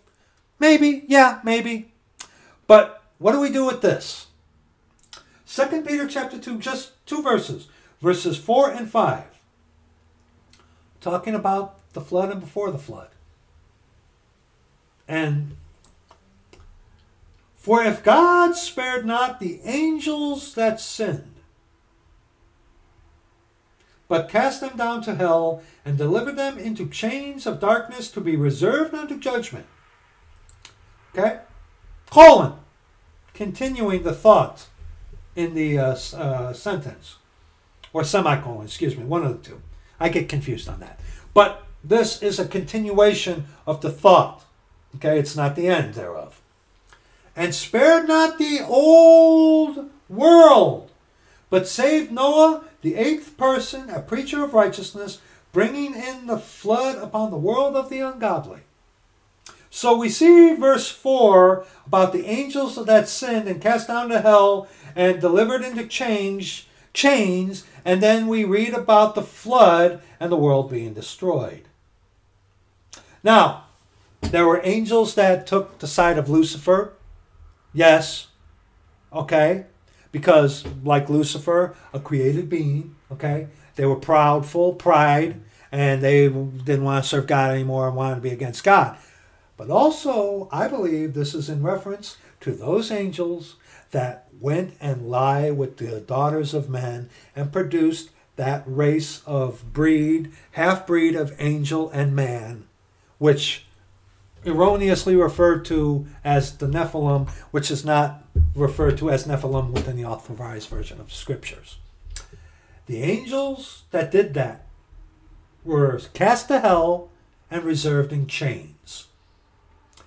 Are, are put in chains to be chains to be reserved on to judgment. That judgment, of course, the great white throne, where Satan himself is going to be cast into the lake of fire. All sin is going to be eradicated at the great white throne of judgment because it's all going to be cast into the lake of fire. No more sin. And then the seventh and final dispensation, no sin, eternity.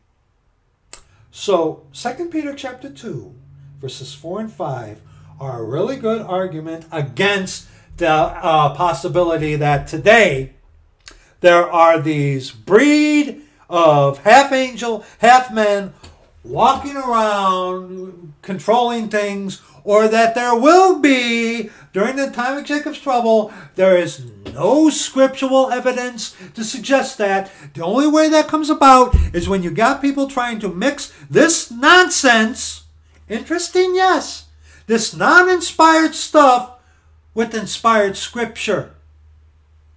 That's what happens when you get messed up with this kind of stuff, people. Okay? So, and uh, what about the Watchers, too? The Watchers. The, the, the, book of Enoch makes a big to do about the Watchers. What about the Watchers, okay? Watchers. Go to Jeremiah chapter 4. Jeremiah chapter 4. There are also the watchers, that the watchers are a specific um, uh, class of angels, even more greater than the cherubims or seraphims or sephiroms or, or one of, or just right under archangel, these watchers. That, hey, these Nephilim, that they're watchers too, right? Jeremiah chapter 4. Jeremiah chapter 4. See, this is you know, another thing. There was watchers. Okay? The watchers.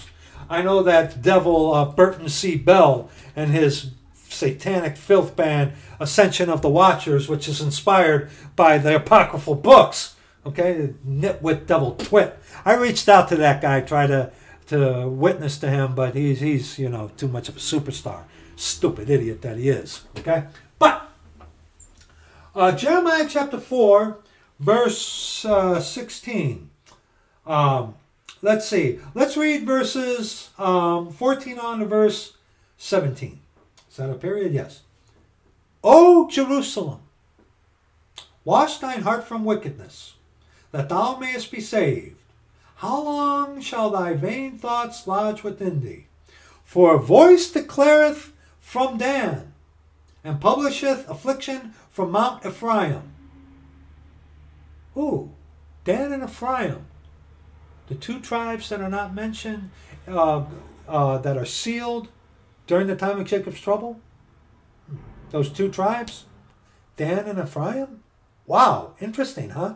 Yeah. Make ye mention to the nations, behold, publish against Jerusalem, that watchers are come from a far country. Okay? This is the first appearance of watchers. Okay? Watchers in their entirety appears, what is it? One, two, three, four in its entirety. Two of watchers and two of watcher. Okay? And the plural, once again, appears before the singular. Okay? But let's continue. Verse 16 Make Making mention to the nations, behold, publish against Jerusalem that watchers that watchers come from a far country and give out their voice against the cities of Judah.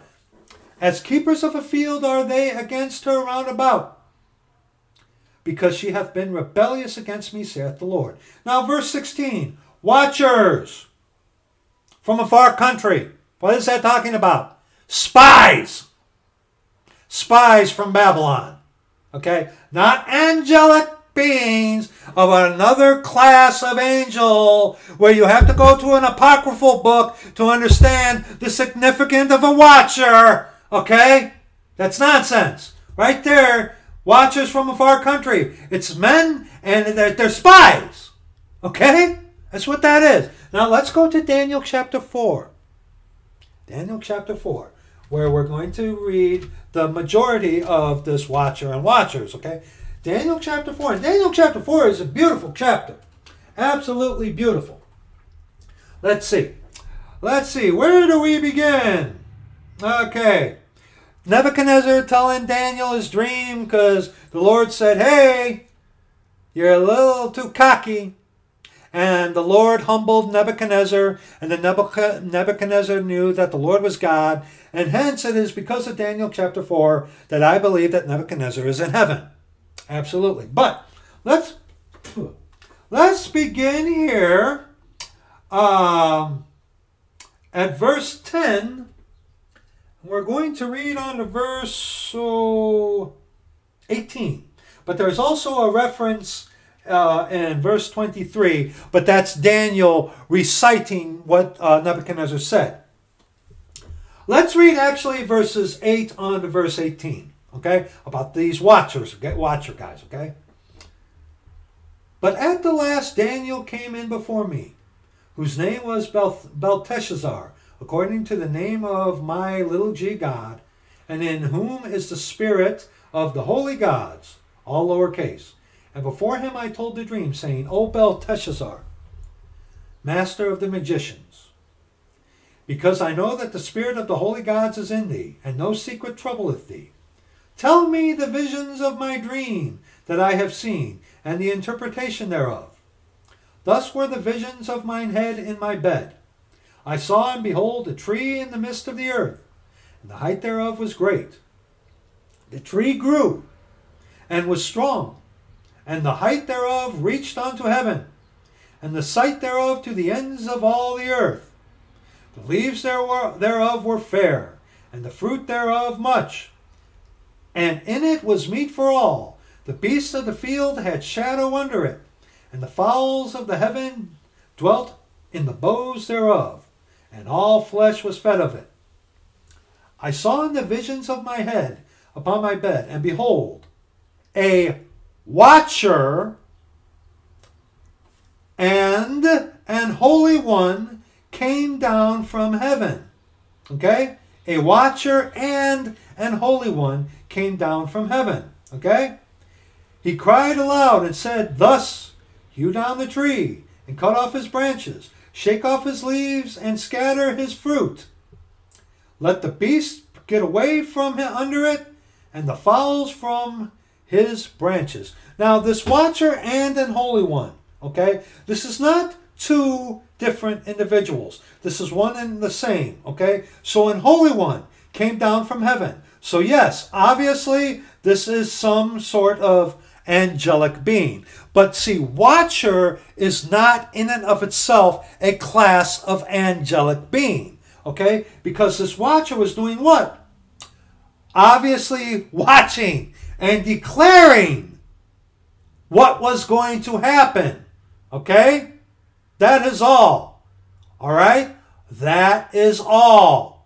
All right? Similar to watchmen. They see and then they go and declare what they see coming. Okay? All right? See, the book of Enoch and some of these guys who use this nonsensical stuff about Nephilim and watchers, they turn watchers into something more pronounced than they actually are. This watcher, yes, he was obviously an holy one and he came down from heaven. Yes, yes. But was he like right uh, just as almost as powerful as an archangel or more greater than the uh, cherub or seraphims? Like it's a, its own class of angel? No, no, no. Let's continue. He cried aloud and said, Thus hew down the tree, and cut off his branches, shake off his leaves, and scatter his fruit. Let the beasts get away from under it, and the fowls from his branches. Nevertheless, leave the stump of his roots in the earth, even with a band of iron and brass in the tender grass of the field and let it be wet with the dew of heaven, and let his portion be with the beasts of the beasts in the grass, with the beasts in the grass of the earth. Let his heart be changed from man's, and let a beast's heart be given unto him, and let seven times pass over him. This matter is by the decree of the watchers, plural. Okay? So these watchers, okay, angelic beings surveying the land and then speaking these things, what they have saw and what they declare from the Lord. Okay? The Lord. Kind of like kind of like the equivalent of a prophet in a way. Because they see what's going on and then they are given things to say. Okay? All right? All right? But is this its own class of angelic being? No, there's no proof in this to say that the watchers are like, okay, here's Archangel, here are watchers, here are uh, cherub, uh, Sephirim. No, no. Watchers, this is what they are doing, not a class of angel. Okay? All right? A watcher, it's a noun. Watching is a verb. Watcher, watch, uh, watcher. Someone who watches. Watchers. Some peoples who watch. It's a noun. Okay? Okay? It's not its own class of angel. Okay? All right? All right? And note where this appears. All right? It appears in context onto Nebuchadnezzar. Okay? Note that. Watchers Watcher does not appear in the book of Revelation. It doesn't. Okay? Watchmen and stuff like that are elsewhere in Scripture. This is not its own class of angel, dear friend. Okay? You're getting that from this. This is not inspired Scripture. And you're going off of this, trying to interpret Scripture you, you're you're going off in all the wrong directions, dear friend. Sure, I, I got a copy of it. Yeah, it's interesting. It's not scripture. It can't be trusted. And this watcher thing, this is not inspired scripture. Okay? Verse 17. This matter is, is by the decree of the watchers, and the demand by the word of the holy ones, to the intent that the living may know that the Most High ruleth in the kingdom of men, and giveth it to whomsoever he will, and setteth up over it the basest of men. Okay? All right? This dream I have, this dream I, King Nebuchadnezzar have seen. Now therefore, O Belteshazzar, declare the interpretation thereof, for as much as all the wise men of my kingdom are not able to make known unto me the interpretation, but thou art able. For the spirit of the holy gods is in thee. And of course, the final reference, verse 23, where Daniel is just reciting. Okay? Well, let's read verses 22 and 23, and then we'll be done.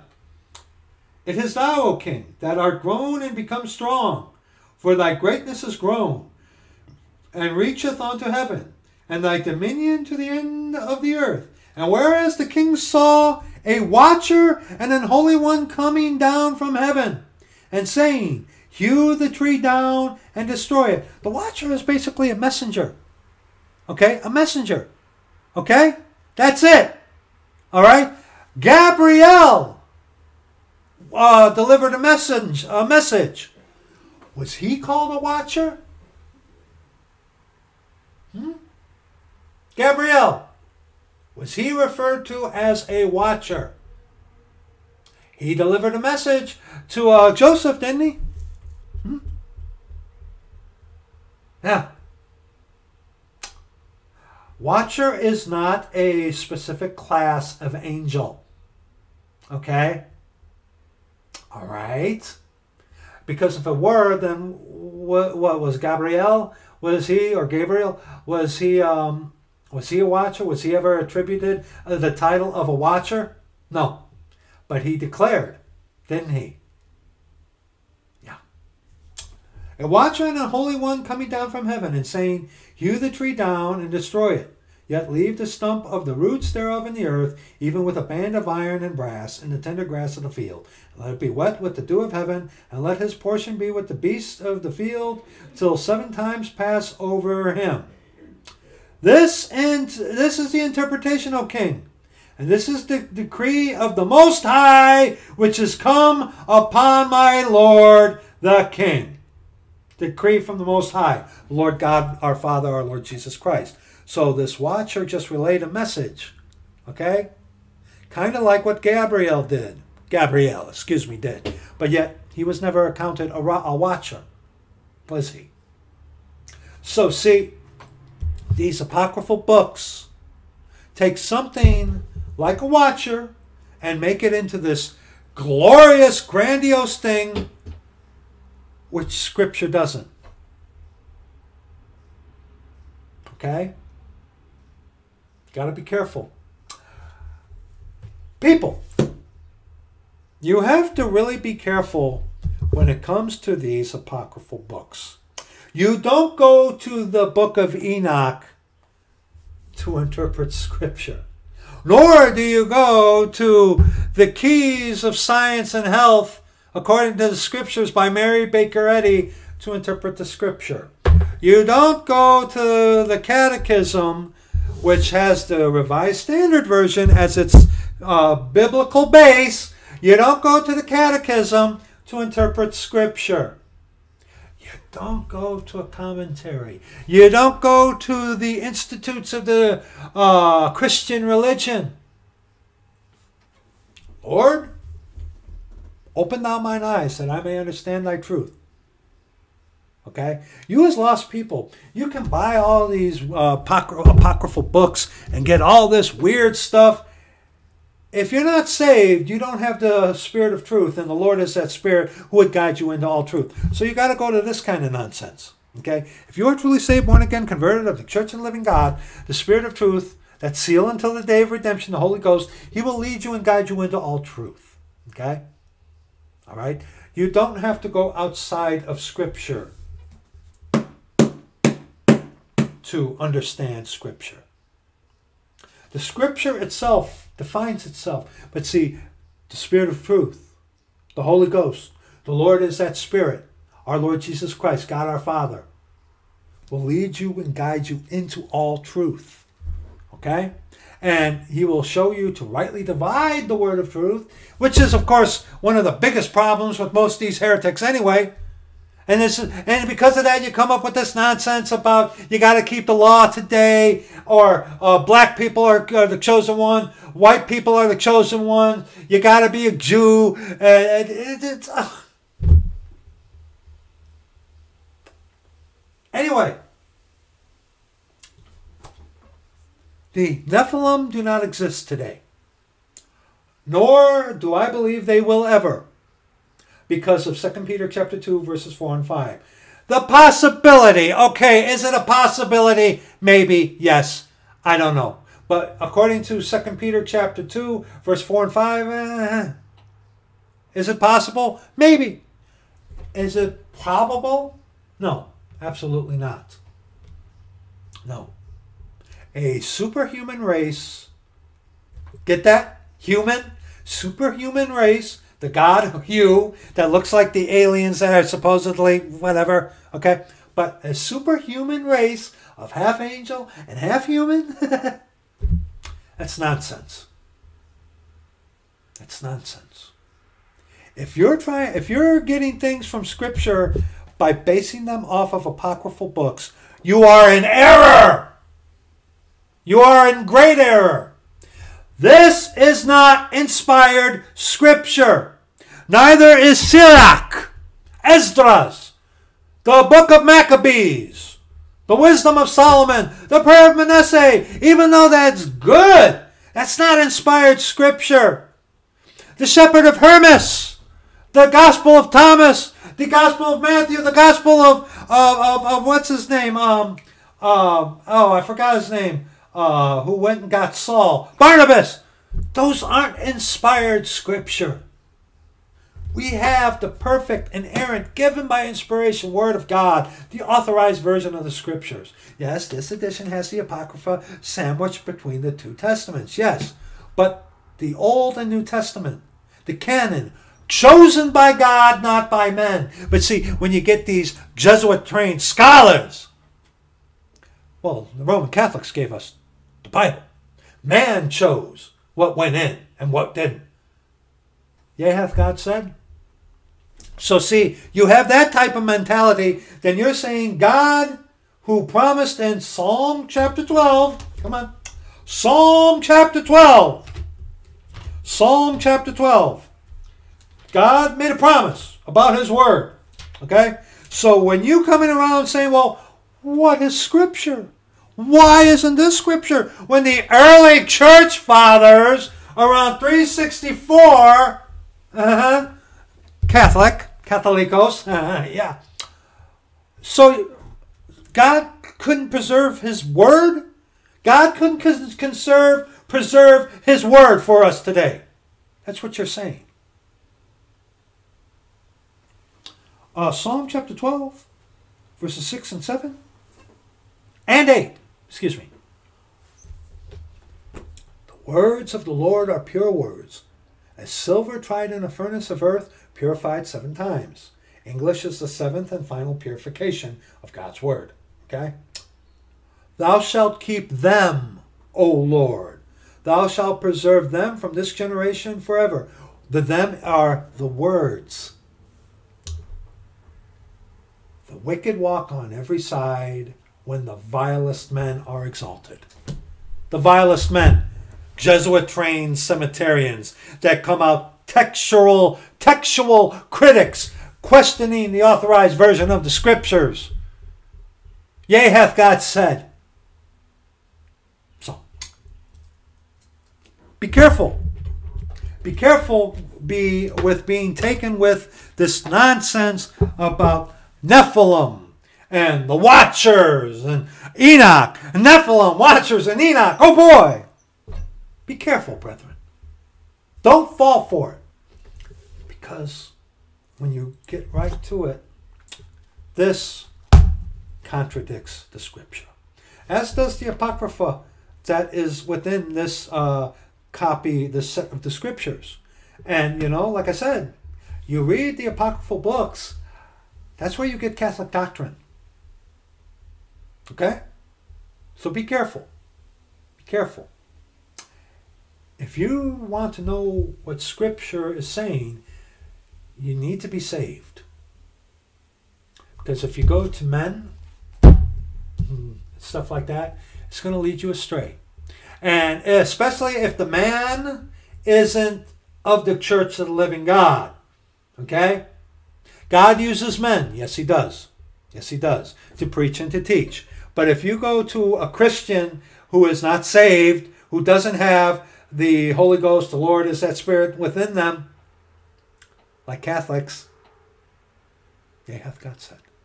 So that's going to be it for this video. I'm going to put these two videos together using the um, the thing there, and uh, going to upload this. So thank you so much for watching this. If you do, we love you.